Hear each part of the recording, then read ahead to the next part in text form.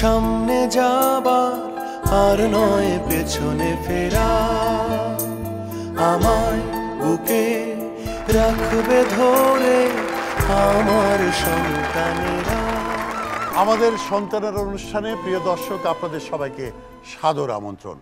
আমাদের সন্তানদের আমরা পৃথিবীর সকল কিছুর বিনিময়ে, নিজের জীবনের বিনিময়ে কিন্তু সফল দেখতে চাই। সাতচল্লিশ বছরের বাংলাদেশ, আজকে উন্নয়নশীল একটি দেশে পরিণত হয়েছে আমাদের সন্তানদের সাফল্যে। আমাদের যেসব সন্তানেরা সফল হয়ে নিজ দেশকে এবং নিজ মাতৃভূমিকে বিশ্ব মানচিত্রে এটি গৌরবের স্থান দান করেছে, তাদের প্রতি কৃতজ্ঞতা এবং ভালোবাসা জানাচ্ছি আমাদের সন্তানেরা অনুষ্ঠানের পক্ষ থেকে।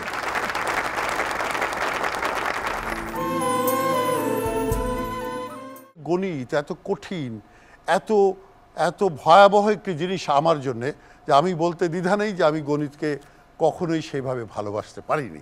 কিন্তু এ কথা সত্যি যে গণিত ছাড়া সভ্যতা এগোতো না। গণিতের উপর ভিত্তি করেই কিন্তু সভ্যতা এগিয়েছে। অর্থাৎ যদি আমরা ভাবি কবে থেকে মানুষ এই গণিতের সাথে সম্পর্কিত হলো, তাহলে বলব সভ্যতার উষালগ্ন থেকে। এটি হচ্ছে সংস্কৃতির একটি অংশ। অর্থাৎ আজ থেকে যদি আটত্রিশ, চল্লিশ হাজার বছর আগের কথাও বলি, যখন মানব সভ্যতা ক্রমশ বিকশিত হওয়া শুরু করেছে, সেই আলতামিরার গুহার কথা বলতে পারি, স্পেনের, অথবা বলতে পারি ইন্দোনেশিয়ার জাভা কেইভের কথা, যেখানে আপনারা দেখবেন নানা রকম দাগ দেয়া আছে, নানা পশু পাখির ছবি আছে, বাইসনের ছবি আছে, যে বাইসনটি দৌড়াচ্ছে তার ষোলোটি পা। তো ষোলোটি কেন হলো? নিশ্চয়ই তাদের একটি গণনা পদ্ধতি ছিল। যদি তিন হাজার বছর আগের কথা আমরা ভাবি, সুমেরীয় সভ্যতার কথা বলি মিশরিয়ান সভ্যতার কথা বলি মেসোপোরিয়ান সভ্যতার কথা বলি তাহলে দেখবেন যে পাটিগণিত, বীজগণিত এগুলি কিন্তু তখন আবিষ্কার হয়ে গেছে তিন হাজার বছর আগে। অর্থাৎ জ্যোতির্বিদ্যা, বর্ষপঞ্জির এগুলি নির্ধারণ করার জন্যে এই অঙ্কের প্রয়োজন হয়েছে। গণিত অলিম্পিয়াড হচ্ছে সারা পৃথিবীর গণিতের মানুষরা এসে, নতুন সম্ভাবনার সন্তানরা এসে সেই অলিম্পিয়াডে অংশগ্রহণ করে, একশো নয়টি দেশ এবার অংশগ্রহণ করেছিল। সেই একশো নয়টি দেশের মধ্যে যারা স্বর্ণপদক পেয়েছে, বাংলাদেশ হচ্ছে তাদের মধ্যে একটি। সেই স্বর্ণপদক বিজয়ীর নাম হচ্ছে আহমেদ জাওয়াদ চৌধুরী। আমরা এখন, প্রিয় দর্শক, আমন্ত্রণ জানাব আন্তর্জাতিক গণিত অলিম্পিয়াডে স্বর্ণপদক বিজয়ী আমাদের আহমেদ জাওয়াদ চৌধুরী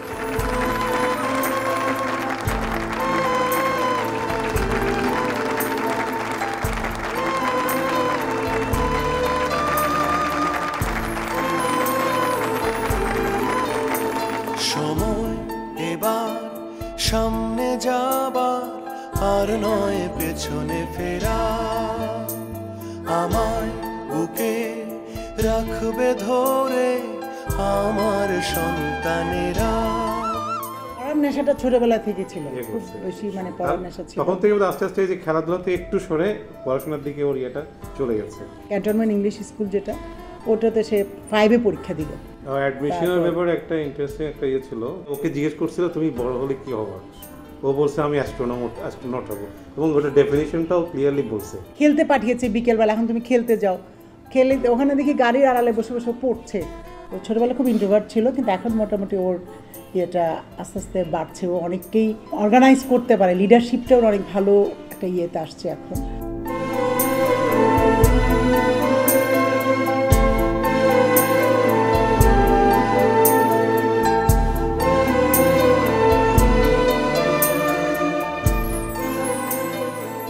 একদিন আমি ক্লাসে গেলাম, ওদের ক্লাস ফাইভের ক্লাস নেব। ওই সময় তাদেরকে কিছু প্রবলেম সলভ করতে দিলাম। ক্লাসের অন্যরা যেভাবে সলভ করেছে, আহমদ জাওয়াত সেভাবে সলভ করেনি। সলভিং ওয়েটা ছিল সম্পূর্ণ ডিফারেন্ট আর সে কারণে আমি চিন্তা করলাম, একে যদি আমরা প্রপার গাইডলাইন দিতে পারি, তাহলে একে আমরা অনেক দূর এগিয়ে নিয়ে যেতে পারব। জাওয়াদের কথা বলতে ভালোই লাগে, কারণ জাওয়াদ তো শুধু আমাদের প্রতিষ্ঠানের গর্ব নয়, ও পুরো বাংলাদেশেরই গর্ব। একদিন আমি কলেজের ফ্লোরে, বিভিন্ন ফ্লোরে রাউন্ড দিতে গিয়ে দেখি আহমেদ জাওয়াদ চৌধুরী রুমে বসে আছে। জিজ্ঞেস করলাম, বাকিরা কোথায়? বলল, স্যার, মাঠে খেলতে গেছে। তখন আমি ওর দিকে একটু খেয়াল করলাম, ও কী করে? দেখলাম সে কিছু ম্যাথস করছে। তখন তাকে আমি জিজ্ঞেস করলাম, বাবা, এটা কী করছ তুমি? তখন সে আমাকে যা দেখাল এবং আমি যা দেখলাম, আমি তখনই বুঝলাম যে এটা একটা তার হবি হয়ে গিয়েছে যে কি, এটাই সে সারাক্ষণ যখনই সময় পায়, এভাবে প্র্যাকটিস করতে থাকে।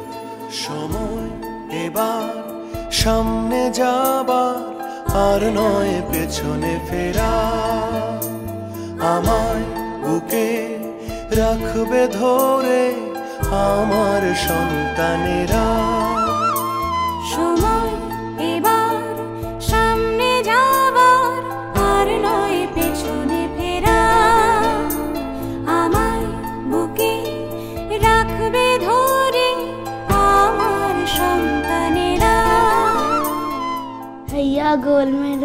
পেয়েছে আর ভাইয়া অনেক বিখ্যাত হয়ে গেছে।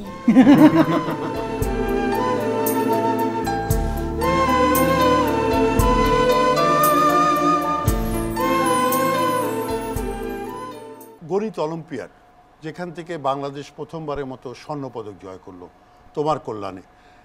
সেটি উনিশশো উনষাট সালে শুরু হয়েছিল। জি। এটা রোমানিয়াতে? হ্যাঁ।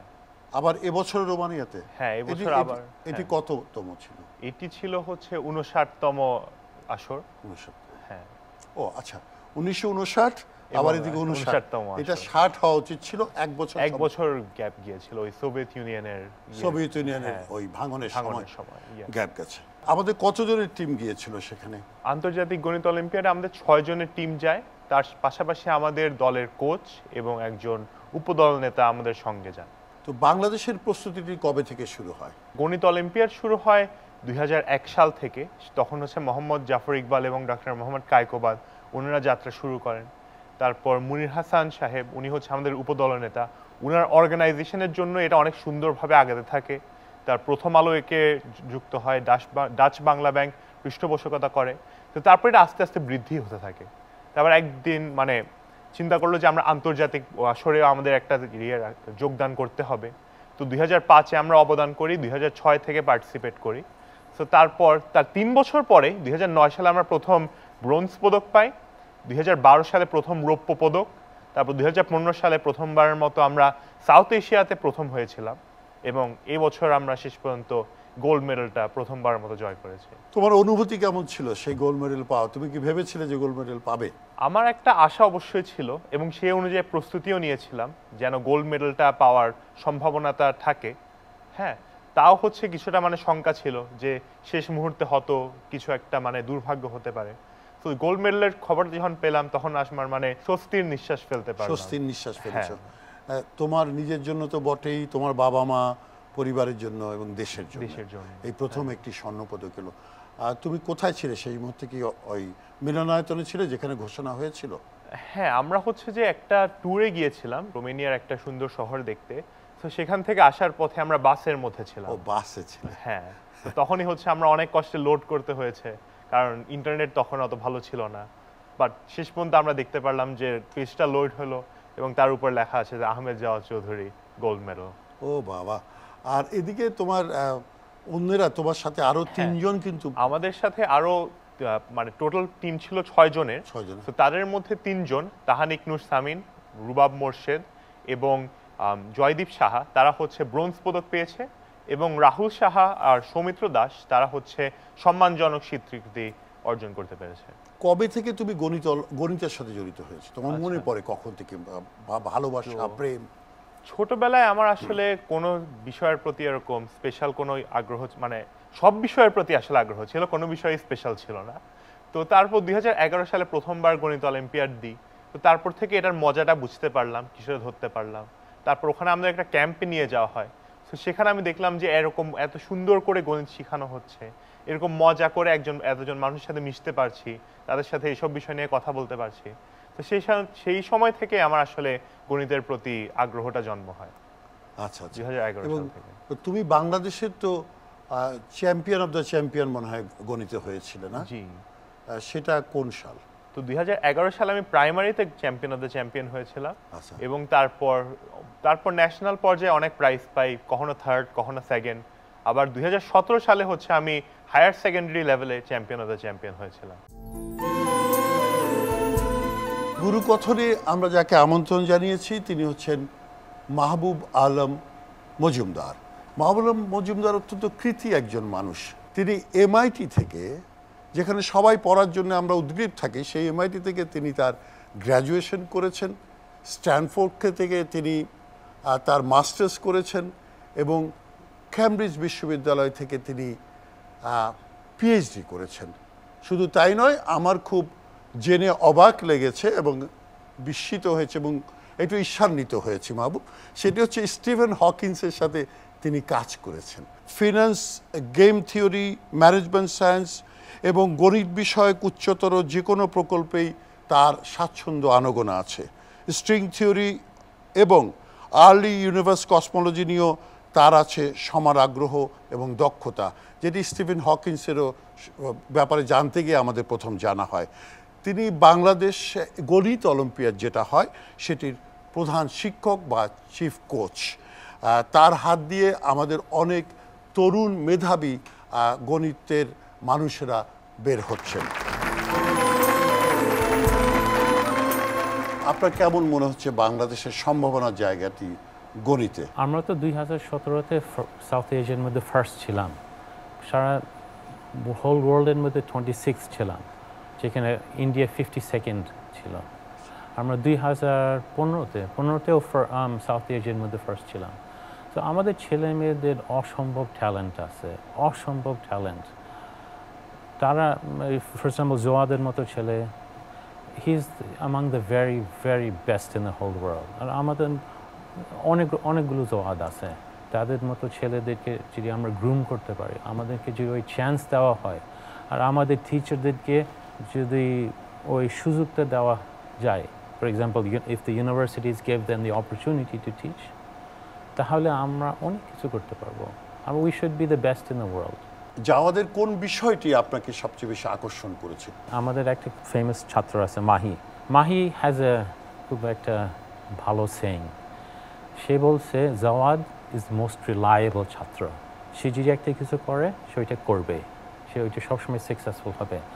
আমাদের অনেক অসম্ভব ব্রিলিয়েন্ট ছেলে মেয়ে আছে তো সবাই তো সবসময় সাকসেসফুল হয় না। জওয়াদের ফর সাম রিজন তারও এফিসিয়েন্সিটা খুব বেশি। তবে জওয়াদ তো আমাদের জন্য আসলে একটা এক্সাম্পল একটা আমাদের অনেক সময় মডেল সলিউশন আছে না? মডেল টেস্ট এইসব জওয়াদ আমাদের জন্য একটা মডেল ছাত্র। আপনি আমাদের সন্তানদের জন্য যারা আজকে কোটি দর্শক টেলিভিশনে দেখছে তাদের জন্য আপনার কি বলার আছে? আপনি কি বলতে চান? আমাদের দেশের এক নম্বর সমস্যা, আমাদের সবাই খুব লো এক্সপেকটেশনস মানে সবাই খুব লো ছোট ছোট জিনিস চাই। আমি আপ সবাইকে বলব, আপনারা বড়ভাবে চিন্তা করবেন, বড় স্বপ্ন দেখবেন। আমরা আসলে অনেক কিছু করতে পারি। তবে আপনারা অ্যাকসেপ্ট করবেন না যে একটা খারাপ স্ট্যান্ডার্ডের পড়াশোনা মানে টিচিং হোক। খারাপ স্ট্যান্ডার্ডের একটা হোয়াট একটা কিছু, আপনারা সবসময় এক্সপেক্ট করবেন সব কিছু ভালোভাবে হবে আর ওইটা ডিম্যান্ড করবেন। আমরা যেহেতু ডিম্যান্ড করি তাদের কাছ থেকে অ্যাবসোলুটলি ওয়ার্ল্ড ক্লাস পারফরমেন্স তারা তো ওইভাবে প্রডিউস করতেছে। আমরা যদি আসলে ডিম্যান্ড করি, তাহলে আসবে। অবশ্যই আসবে।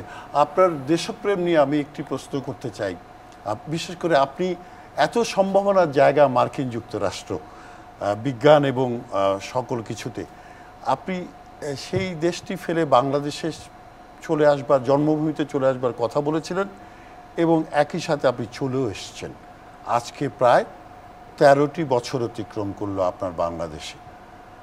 আপনার এই দেশপ্রেমের মূল জায়গাটিকে কেন আপনি আসতে চাইলেন ফিরে? বাইরের সব ছেলেমেয়েরা, অনেকে যারা বাংলাদেশিরা মানে বাংলাদেশি আমেরিকান বাংলাদেশি ব্রিটিশ, তাদের সবার একটা স্বপ্ন আছে সবাই তো একটা সবার একটা ফ্যামিলি একটা টান পড়ে বাংলাদেশের জন্য। তো সবাই তো পড়তে পারে না। ফর সাম রিজন আমি ওই স্বপ্নটা সামহাও পূরণ করতে পারছি।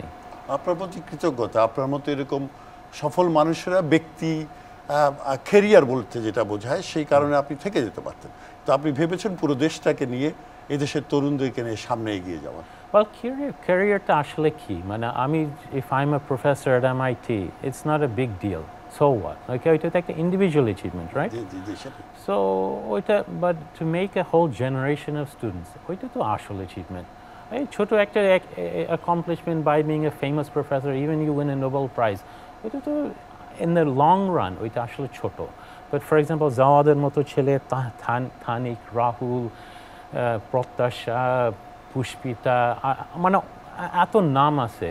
সো তাদেরকে যদি আমরা কোনোভাবে একটা লেভেলে নিতে পারি so that they can change Bangladesh that is much much more much much more important অসাধারণ ভাবনা আপনার চিন্তা এবং সেটা প্রয়োগ করার চেষ্টা করছেন। আপনাকে আমাদের সন্তানেরা অনুষ্ঠানের পক্ষ থেকে এবং বাংলাদেশের আমাদের সকল দেশপ্রেমিকের পক্ষ থেকে আপনার প্রতি কৃতজ্ঞতা শুভেচ্ছা এবং অভিনন্দন। জাওয়াদ তোমাদের প্রধান প্রশিক্ষক জাওয়াদ আহ, তার সম্পর্কে তুমি কিছু বলবে কিনা? তোমার শিক্ষক সময় স্যার সম্পর্কে। স্যার সম্পর্কে আসলে মানে কিছু বলতে হয় না। ওনার কথাবার্তা শুনলেই মানে বুঝে যাওয়া যায় যে উনি আসলে কত অসাধারণ একজন মানুষ। তো উনি হচ্ছে আমাদেরকে প্রশিক্ষণ দেওয়ার জন্য সবসময় তৎপর হয়ে থাকতেন। হ্যাঁ সো উনি হচ্ছে মানে আপনার তুলনায় তরুণ হলে আমাদের তুলনায় হয়তো বয়স্ক বাট তবুও উনি হচ্ছে যে ক্যাম্পে এসে আমাদের মানে খেয়াল রাখতেন, দেখতেন যে আমরা কত ভালো করছি, না করছি, কার কোথায় ব্যাঘাত আছে সেটা পূরণ করার চেষ্টা করতেন। সো তার গাইডেন্সের আর মানে তিনি কিন্তু আসলে অনেক অসাধারণ একটা স্ট্র্যাটেজি ফলো করেছেন। সেটার জন্যই কিন্তু বাংলাদেশ এত দূর এগিয়ে আসতে পেরেছে এত কম সময়ের মধ্যে। ম্যাথ অলিম্পিয়াডে আসলে এটা একটা কালচারের মতো যে আমরা শিক্ষকদের সাথে বন্ধুত্বের একটা বন্ধন তৈরি করি। মানে তাদের সাথে যাতে ফ্রিলি শেয়ার করা যায় আইডিয়া আমাদের। হ্যাঁ যাতে কোনো মানে কোনো সংকোচ না থাকে। হ্যাঁ তো সেটাই কিন্তু আসলে ছাত্রদেরকে ইন্সপায়ার করে আরও এগিয়ে যাওয়ার জন্য। এবং তাদের ডেভেলপমেন্টকে আরও অনেক বৃদ্ধি করে দেয়। হ্যাঁ? তা আমার মনে হয় যে আসলে আমাদের সকল শিক্ষকদের কিন্তু এরকম একটা ইয়ে করা উচিত যে ছাত্রদেরকে তো দূরে থাকা উচিত না। ছাত্রদের পাশে থাকলে, ছাত্রদেরকে ডিরেক্টলি সাহায্য করলে তাহলেই সবার জন্য বেনিফিট হবে।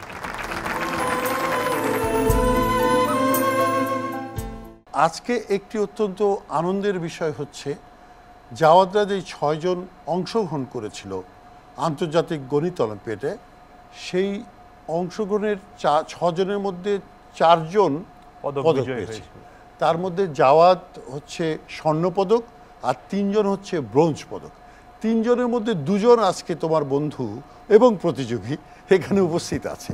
তারা দুজন হচ্ছে তামজিদ মোর্শেদ রুবাব এবং তাহনিক নূর সাবিন। তোমাদেরকে স্বাগত আমাদের সন্তানেরা এই অনুষ্ঠানে এবং যাওয়াদের সাফল্য এবং তোমাদের সাফল্যে আমরা সবাই উদ্বেলিত এবং আমরা সবাই গৌরবান্বিত। আমার জানার ইচ্ছে যে তোমরা কীভাবে এই গণিতের সাথে সম্পর্কিত হয়ে গেলে? গণিতের প্রেমে পড়লে কি করে? আমি সবসময় বই পড়তে, পড়াশোনা করতে পছন্দ করি, কিন্তু আমি আসলে কখনো এই পড়া স্কুলের পড়ালেখায় কখনো ভালো ছিলাম না। হ্যাঁ মানে আমার মার্ক সবসময় পরীক্ষাগুলোতে দেখা যেত যে অনেক কম ছিল। কিন্তু একবার হচ্ছে যে আমাদের স্কুলে, স্কুল ভিত্তিক একটা অলিম্পিয়াড অনুষ্ঠিত হয়েছিল। যেটাতে হচ্ছে যে আমি মনে করলাম যে হ্যাঁ আমি পার্টিসিপেট করে দেখি আমার বন্ধুরা যেহেতু করছে। আর ওটাতে আমি প্রাইজও পেয়ে গিয়েছিলাম। এটা হয় যখন আমি ছিলাম হচ্ছে যে ক্লাস সেভেনে তখন আমি ওখান থেকে ইন্সপিরেশন নিয়ে তারপর আমি অনেকগুলো অঙ্কের বই আমার কাছে আগে থেকে ছিল, আমি পড়তে পছন্দ করতাম। তো অঙ্কের বইগুলো পড়ে প্র্যাকটিস করলাম। আর তারপর যখন ক্লাস এইটে ছিলাম, তখন আমি আঞ্চলিক পর্যায়ে জাতীয় পর্যায়ে যাই। জাতীয় পর্যায়ে গিয়ে ওখানে জাতীয় পর্যায়ে তৃতীয় স্থান অধিকার করি। তারপর থেকে আমি সিরিয়াসলি আন্তর্জাতিক গণিত অলিম্পিয়াডে যাওয়ার লক্ষ্য নিয়ে গণিত করা শুরু করি। আমি শুরুতে দেখতাম যে আমার স্কুলের ম্যাথ করতে একটু ভালো লাগে। সো আমি চিন্তা করলাম আর একটু চ্যালেঞ্জিং ম্যাথ করে দেখি মানে অ্যাকচুয়ালি কেমন লাগে করতে। ক্লাস নাইনে যখন ছিলাম, তখন ঢাকা আঞ্চলিক অলিম্পিয়াডটাতে অংশগ্রহণ করি এবং তখনই প্রাইজ পাই ফার্স্ট ফার্স্ট টাইম এবং ওইবার একটা ক্যাম্প করেছিলাম জুনিয়র ক্যাম্প বাট এর বেশি কিছু ওইবার করতে পারিনি।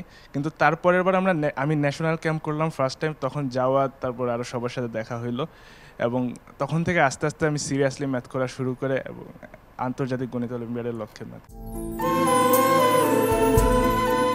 এই পর্যায়ে স্টুডিওতে উপস্থিত দর্শকদের কাছ থেকে শুনব তাদের প্রশ্নগুলো কি। প্রথমে আপনি যে বসে আছেন। আপনার কাছে আমি জানতে চাচ্ছি, আপনার পথে যারা হাঁটতে চাচ্ছে বা যারা গণিত অলিম্পিয়াডের সর্বোচ্চ পর্যায়ে যেতে চায়, তাদের নিয়ে আপনার কোনো কার্যক্রম কিংবা চিন্তাভাবনা আছে কিনা? কাজ করছি অলরেডি এবং ভবিষ্যতেও করার ইচ্ছা আছে।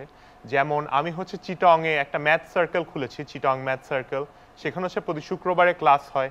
তারপর সেখানের মধ্যে হচ্ছে যে চিটংয়ের পঞ্চাশ, সত্তর জনের মতো স্টুডেন্টরা আসে। তারা হচ্ছে গণিতের বিভিন্ন বিষয় নিয়ে শিখতে পারে। তাদের জানার আগ্রহটা বিকাশিত করতে পারে। হ্যাঁ মেটাতে পারে। তারপর আমি জাতীয় যে ক্যাম্পটা হয় মানে পুরো বাংলাদেশ থেকে সবচেয়ে মেধাবী যে ছাত্রগুলোদেরকে নিয়ে ক্যাম্পটা হয়, সেখানের মধ্যে আমি প্রশিক্ষণ দিই, সেটার অর্গানাইজেশনে হেল্প করি। কারণ এদেরকেই দিয়েই তো ভবিষ্যৎটা তৈরি করতে হবে। তো আমার আর, আরও ইচ্ছা আছে যে, এখন তো শুধু মানে হয়তো স্বল্প পরিসরে করতে পারছি, ভবিষ্যতে আরও বড় পরিসরে করতে পারব। দেশের সবার জন্য কিছু না কিছু একটা করতে পারব, সেটাই আমার ইচ্ছা। আমাদের দেশের গণিত শিক্ষা পদ্ধতির সংস্করণে আপনার পরিকল্পনা কি? আমাদের দেশের শিক্ষা পদ্ধতিতে গণিতের যেসব বিষয়গুলো আছে, সেগুলো কিন্তু আসলে খারাপ না। হ্যাঁ সেখানে কারিকুলাম কিন্তু আমাদের যথেষ্ট ভালো স্ট্যান্ডার্ডেই আছে। কিন্তু আমাদের যেটা দরকার, সেটা হচ্ছে যে শিক্ষকদের কাছে একটা মানে ট্রেনিং দেওয়া। তারা যেন এই বিষয়টাকে ছাত্রদের কাছে ভালো মতো বুঝাতে পারে। কারণ অনেক অ্যাডভান্স টপিক অ্যাড করে দেওয়া হয়েছে। যেটা হয়তো শিক্ষকরা নিজেরাই হয়তো এত ভালো করে ইয়ে করতে পারছেন না। অথবা তারা নিজেরা বুঝলেও সেটা কীভাবে পড়াতে হবে, সেটার ব্যাপারে তাদের হয়তো দক্ষতাটি নেই। তো আমার মনে হয় সেরকম করে ট্রেনিং দেওয়া উচিত, যাতে শিক্ষকরা ছাত্রদের কাছে এই গণিতের মানে শুধু সূত্রগুলো না, অথবা শুধু মানে মানে জ্ঞানটা না বাট এটার মানে উপলব্ধিটা, এটার অনুভবনটা, সেটাও যাতে পৌঁছে দিতে পারে। আর আরেকটা বিষয় আছে যেটা হচ্ছে আমাদের স্কুল পর্যন্ত কারিকুলাম ভালো বাট কলেজের গণিত কারিকুলামটাতে কিছুটা ঘাটতি রয়েছে যেটা বেশি অ্যাডভান্স করে দেওয়া হয়েছে। হ্যাঁ সেটা ছাত্ররাও নিতে পারে না ছাত্রদের উপরেও জোর করে চাপিয়ে দেওয়া হয় শিক্ষকরাও সেটা পড়াতে গিয়ে হিমশিম খায়। শেষ পর্যন্ত দেখা যায় যে বিশ্ববিদ্যালয়ে উঠে সেই বিষয়গুলোকে আবার পড়তে হচ্ছে। আমার মনে হয় যে সেরকম মানে এরকম জিনিসগুলো আমাদের আসলে মানে স্ট্যাটিস্টিক্স দিয়ে দেখা উচিত যে কি মানে কোথায় কি পড়ানো হচ্ছে কতটুকু এফেক্টিভ হচ্ছে তারপর সেটা অনুযায়ী কারিকুলামটাকে একটু পরিমার্জিত করলে তাহলে হয়তো ভালো হয়। গণিতের যে ভয় এটা আমরা কীভাবে দূর করতে পারব? গণিতের ভয়টা দূর করার জন্য আসলে সবচেয়ে ভালো উপায়টা হচ্ছে বুঝে বুঝে পড়া। হ্যাঁ তো গণিতের প্রতি আমাদের অনীহাটা জাগে সেটা হচ্ছে বাংলাদেশের বংশীভূত সালমান খান যে খান একাডেমির মানে উদ্ভাবক হ্যাঁ, হ্যাঁ। সে বলেছিল যে মাস্টারি বেসড লার্নিং বলে একটা বিষয় আছে যে ক্লাস সিক্সে আপনাকে অ্যালজেব্রা শেখানো হয় সেটা যদি আপনি ক্যাচ না করতে পারেন ক্লাস নাইনে এসে ত্রিকোণোমেট্রি অথবা ক্লাস ইলেভেনে এসে ক্যালকুলাস সেটা কিন্তু আপনি বুঝতে পারবেন না। হয়তো ক্লাস সিক্সে আপনি জানেন না যে অ্যালজেব্রা আপনার পুরোপুরি বুঝে ওঠা হয়নি, কিন্তু সেটার ফলাফল পরে কিন্তু আপনাকে ভোগ করতেই হবে। সো সেটা আসলে মানে ছাত্রদের উপর তো দোষারোপ করা যায় না, তারা কতটুকুই বা বুঝবে। সো আমাদের আসলে সেটা চেষ্টা করা উচিত মানে মানে অভিভাবকদের অথবা টিচারদের অথবা মানে মেন্টরদের যাতে পুরোপুরি বুঝিয়ে দেওয়া যায়।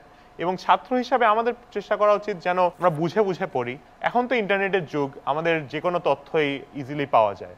সো আপনারা যদি ইচ্ছা থাকে তাহলে গণিত নিয়ে কিছুটা হয়তো গবেষণা করে দেখলে তাহলে আপনারা হয়তো সেটার মজাটা সেটা বুঝতে পারবেন। আমার মতো যারা অঙ্কে ফেল করে বারবার তাদের উদ্দেশ্যে যদি আপনি কিছু বলতেন। আচ্ছা। ফেল করলে কি বলব ফেল না কর না করা যায় কীভাবে? হ্যাঁ। তো এটাই হচ্ছে মানে কিছুক্ষণ আগে যেটা বলেছিলাম যে বুঝে বুঝে পড়তে হবে। হ্যাঁ তো আমাদের আসলে শিক্ষা ব্যবস্থার কিছুটা ঘাটতি রয়েছে স্পেশালি গণিতের বিষয়ে। সেটা হয়তো বাংলা, ইংরেজিতে থাকে না বাট গণিতে থাকে। হচ্ছে শিক্ষকরাও হচ্ছে মনে করেন যে এটা মুখস্থ করায় দিলে, গিলায় দিলেই হলো। আর কিছুর দরকার নেই। হুম, কিন্তু সেক্ষেত্রে হয়তো আমাদের মানে ঘাটতিটা রয়ে যায় আর কি, হয়তো ফেলের ইয়েটা আসে সেজন্য। তো আমি সেটা বলব যে আপনি হচ্ছে যে মানে বুঝার চেষ্টা করবেন যে সূত্রটা কি সেটা না বাট সূত্রটা কীভাবে প্রয়োগ করতে হয়। হ্যাঁ কারণ বর্তমান যুগে কিন্তু শুধু জ্ঞান দিয়ে কিছু হয় না। জ্ঞান হচ্ছে আমাদের হাতের মুঠোয় চলে এসেছে। আমাদের জানতে হয় প্রয়োগ কীভাবে করতে হয়। মানে creative হওয়া- ক্রিয়েটিভ হতে হবে। সৃষ্টিশীলতা। ক্রিয়েটিভ সৃষ্টিশীলতার মাধ্যমে সেটা অ্যাপ্লাই করে মানে নতুন জিনিস উদ্ভাবন করতে হবে। তোমার ভবিষ্যৎ পরিকল্পনা কি? শিক্ষাটা গ্রহণ করে তারপর জন- সেটা দিয়ে মানুষের জন্য কাজ করে যাওয়া। হ্যাঁ সেটা কোন বিষয় হবে সেটা আমি ঠিক জানি না। হয়তো শিক্ষাকতা হতে পারে। হয়তো মানে নতুন কিছু উদ্ভাবন করা হতে পারে। হয়তো মানে সিস্টেমের মধ্যে কিছু বদল মানে চেঞ্জ আনার জন্য সেটার জন্য কাজ করে যেতে পারি। সেটা তো আসলে এই পর্যায়ে বলতে পারছি না। বাট আমি জানি যে মানে আমি মানুষের জন্যই কাজ করে যাব। বাংলাদেশ রাষ্ট্রটির জন্ম হয়েছে মুক্তিযুদ্ধের মধ্য দিয়ে। তুমি মুক্তিযুদ্ধকে কীভাবে দেখো এবং মুক্তিযুদ্ধের এই বাংলাদেশকে কীভাবে সামনে এগিয়ে নিয়ে যাওয়া হয় বলে তুমি মনে করো? আমার মনে অবশ্যই মুক্তিযোদ্ধাদের জন্য সর্বোচ্চ সম্মানটা রয়েছে। কারণ তারা হচ্ছে দেশের জন্য প্রাণটা দিতে রাজি ছিল। যে প্রাণটা হচ্ছে যে মানুষের কাছে সবচেয়ে বড় জিনিস সেটা উৎসর্গ করেছে দেশের জন্য। এবং তাদের জন্য যে মানে তারা যেটা রেখে গিয়েছেন আমাদের কাছে সেটা আমাদের অবশ্যই মানে তার পে ব্যাকটা দিতে হবে। তার জন্য আমাদের কাজ করে যেতে হবে। তারা যেরকম দেশকে ভালোবেসেছেন সেই আদর্শটা মেনটেন করে আমাদেরকেও দেশকে ভালোবাসতে যে যার জায়গা থেকে। হ্যাঁ যে যার জায়গা থেকে। তো যেরকম একটা উদাহরণ দিই যে আমরা সবসময় বলি যে বাংলাদেশের জনসংখ্যা ডেনসিটিটা সবচেয়ে বেশি হ্যাঁ? জনসংখ্যার ঘনত্ব। তো সেটাকে আমরা হয়তো মানে বলি যে এটার জন্য আমাদের অনেক চ্যালেঞ্জ আছে সেটার জন্য আমরা পিছিয়ে পড়ছি। কিন্তু চিন্তা করে দেখেন যদি প্রতি স্কোয়ার কিলোমিটারে আমাদের মানুষের সংখ্যা সবচেয়ে বেশি হয় তাহলে প্রতি স্কোয়ার কিলোমিটার আমাদের ব্রেইনের সংখ্যা সবচেয়ে বেশি। আচ্ছা হ্যাঁ। হ্যাঁ মানে সেই ব্রেইনগুলোকে আমাদের হ্যাঁ, মগজটা। তো এই সেই মগজটাকে আমাদের কাজে লাগাতে হবে মেধাটাকে কাজে লাগাতে হবে। আচ্ছা। সেই মেধাটাকে বিকাশ করতে হবে প্রতিটা স্তর থেকে তাইলে আমরা দেশ হিসাবে এগিয়ে যেতে পারব। তোমরা সফল হবে এটি আমাদের প্রত্যাশা এটি আমাদের বিশ্বাস। আমাদের সন্তান হিসাবে তোমরা যে অর্জন করেছ সেই অর্জনটা মানুষের ঘরে ঘরে পৌঁছে যাস ব্যক্তি পর্যায়ে পৌঁছে যাক। বাংলাদেশ পৃথিবীর অন্যতম সেরা দেশ হিসাবেই গড়ে উঠুক। এই প্রত্যাশা করে আমি আমার এই অনুষ্ঠান আজকের এখানে শেষ করছি। তোমাকে অনেক ধন্যবাদ আমাদের অনুষ্ঠানে সামনে যাবা, আর নয় পেছনে ফেরা। আমায় বুকে রাখবে ধরে আমার সন্তানেরা।